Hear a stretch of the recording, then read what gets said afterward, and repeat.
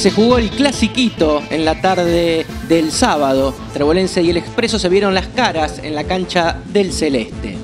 En el Estadio Centenario, todas las categorías, las puntables y las no puntables, disfrutaron de una agradable jornada y en un día también muy apacible y lindo. Hay mucha gente acompañando ahí a los chicos en lo que es el clasiquito.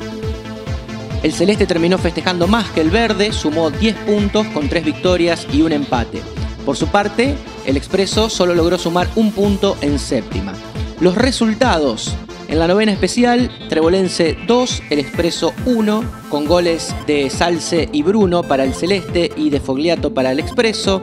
En novena, Trebolense 1 con gol de Filior, el Expreso 0. En séptima, un empate 1 a 1 con goles de Fogliato y Luque y en quinta, Trebolense se impuso con dos goles de Dezumbila frente al Verde. Pasó así otra jornada, otro clasiquito donde Trebolense esta vez festejó más que el Expreso.